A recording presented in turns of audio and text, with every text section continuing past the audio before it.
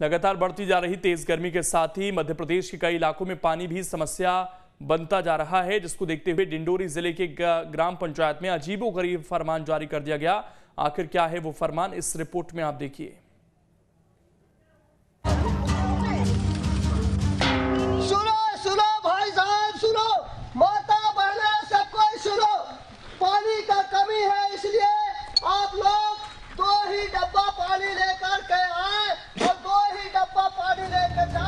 जी हाँ आपने सही सुना।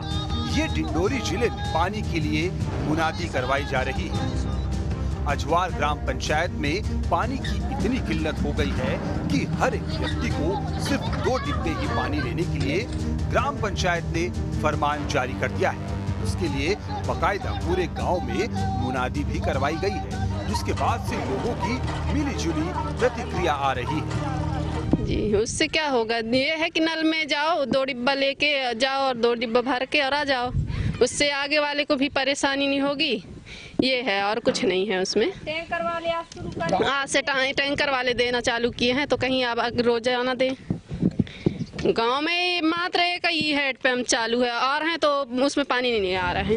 गाँव की आबादी करीब एक हज़ार है। लोगों ने आरोप लगाया था कि कुछ प्रभावशाली लोग 25-30 डिब्बे पानी ले जाते थे और कुछ लोगों को पानी मिलता ही नहीं, जिसके बाद निगरानी के लिए मुनादी मुखिया कमोद प्रसाद को तैनात भी कर दिया गया है। ये आदेश निकला है कि हमारे यहाँ तीन तीन, चार चार, दस दस डब्बे एक एक आदमी भरते हैं। इसके बाद में दूसरे को भरने नहीं देते हैं। हैं?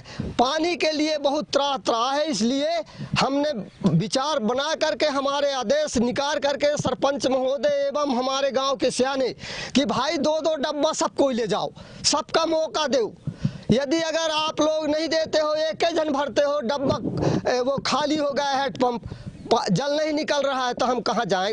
त्राह त्राह है जल के लिए।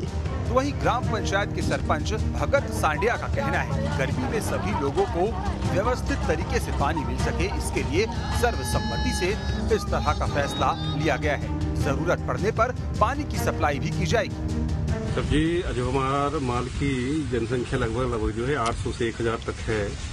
और वहाँ हमने जो है अभी भीषण गर्मी में जो है वहाँ की व्यवस्था को व्यवस्थित करने के लिए जो हमने देखा कि एक हैंडपम्प में जो है एक परिवार अगर जो है 20 से पच्चीस हज़ार लेके आता है पानी भरने तो दूसरे परिवार के लोगों को जो है समय में पानी नहीं मिल पाता। इसलिए इस व्यवस्था को जो है दुरुस्त करने के लिए हमने जो है गाँव के वज़ीर है, गाँव की व्यवस्था बनाने के लिए गाँव के वज़ीर को हमने जो यह बोला, भाई, कि सभी से आप बोले कि कम से कम जो है हर महिलाएँ दो गुंडी जो है लेकर आए। पीएचई विभाग ने लाखों रुपए खर्च कर पानी की टंकी बनवाई थी और पाइपलाइन भी बिछाई थी, जो कि अब उपयोग में नहीं है, जिसको लेकर लोगों ने प्रशासन पर भ्रष्टाचार का आरोप भी लगाया है।